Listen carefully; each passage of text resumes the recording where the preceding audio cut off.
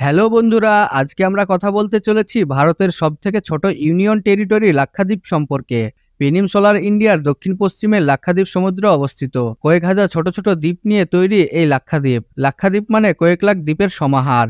সুন্দর সমুদ্রতর নারকেলের ঘন জঙ্গল, নীল লেগুন, প্রবাল দ্বীপ নিয়ে তৈরি এই লাক্ষাদ্বীপ, যার সম্পর্কে আমরা এই ভিডিওতে আলোচনা করতে চলেছি।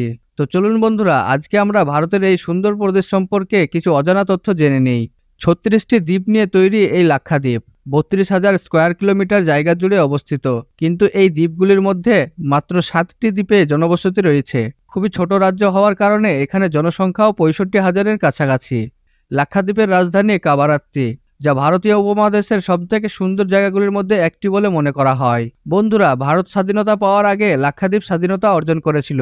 কিন্তু এখানকার বেশিরভাগ মানুষ মুসলিম হওয়ায় পাকিস্তান লাক্ষাদ্বীপকে নিজের অধীনে করতে চেয়েছিল। কিন্তু সর্দার বল্লভভাই প্যাটেল এবং ইন্ডিয়ান আর্মির কারণে পাকিস্তান ব্যর্থ হয়ে যায়। আর সেই সময় থেকে আজ পর্যন্ত এটি ভারতবর্ষের একটি অংশ হয়ে যায়। তাই এখানে যেতে ভারতীয় পর্যটকদের কোনো ভিসা পাসপোর্ট লাগে না। কিন্তু এখানে যাওয়ার জন্য আগে থেকে আবেদন করতে হয়। ভারতীয় পর্যটকরা এখানে সব থেকে কম খরচায় ঘুরতে পারেন। কিন্তু বন্ধুরা, ভারতীয় পর্যটক ছাড়া অন্য পর্যটকরা এখানে মাত্র দুই থেকে তিনটি দ্বীপে ঘুরতে পারবেন। বন্ধুরা, এখানে এক দ্বীপ থেকে অন্য দ্বীপে যাওয়ার জন্য স্পিড বোট অথবা হেলিকপ্টারের ব্যবস্থা রয়েছে। পর্যটকদের থাকার জন্য এখানে অনেক হোটেল ও রিসোর্টের সুব্যবস্থা রয়েছে। বন্ধুরা, আপনি হয়তো জানেন না, কেরালার পরে লাক্ষাদ্বীপ ভারতের দ্বিতীয় সব থেকে শিক্ষিত রাজ্য। লাক্ষাদ্বীপ এমন একটি রাজ্য যেখানে বড়লোক ও গরিব লোকেদের মধ্যে কোনো ভেদাভেদ নেই। কেরালার কাছাকাছি অবস্থিত হওয়ায় এখানকার বেশিরভাগ লোক মালায়ালাম ভাষায় কথা বলে এবং এখানকার সংস্কৃতি ও কেরালার ছোঁয়া পাওয়া যায়। প্রকৃতির কোলে অবস্থিত লাক্ষাদ্বীপ তার শান্ত পরিবেশের জন্য পর্যটকদের দৃষ্টি আকর্ষণ করে।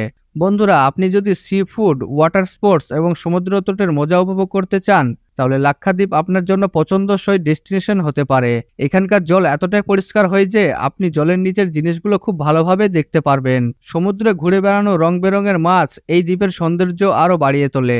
লাক্ষাদ্বীপের অর্থনীতির প্রধান হলো কৃষি, কিন্তু মাছ ধরাও এর অর্থনীতির উপর বিশেষ প্রভাব ফেলে। বন্ধুরা, ভারতের সবকটি রাজ্যে বিবাহের পর মেয়েরা স্বামীর বাড়িতে গিয়ে বসবাস করে। কিন্তু আপনি জানলে অবাক হবেন যে, লাক্ষাদ্বীপ ভারতের অংশ হলেও এখানে বিবাহের পর ছেলেরা তার স্ত্রীর বাড়িতে ঘর ঘরজামাই হয়ে থাকে। শুধু তাই নয়, এখানে ছেলেদেরকে তার স্ত্রীর পদবীও নিজের নামের সাথে ব্যবহার করতে হয়। বন্ধুরা, লাক্ষাদ্বীপ এমন একটি রাজ্য যেখানে অন্য ধর্মের মানুষের সাথে বিবাহ করা আইনত অপরাধ। এখানকার আইন অনুযায়ী লাক্ষাদ্বীপের বাইরে থেকে আসা লোক এখানে জমি কিনতে পারবেন না, যা ভারত সরকার দ্বারা অনুমোদিত। বন্ধুরা, বাঙ্গারাম দ্বীপ ছাড়া আপনি লাক্ষাদ্বীপের অন্য কোনো জায়গাতে মদ পান করতে পারবেন না। আপনি হয়তো জানেন না যে কোনো পর্যটক সমুদ্র তটে ন্যাকেড হয়ে ঘুরতে পারবেন না।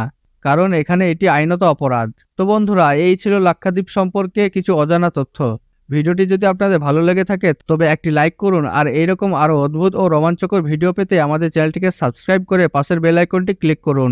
দেখা হবে পরের ভিডিওতে। ভালো থাকবেন, ধন্যবাদ।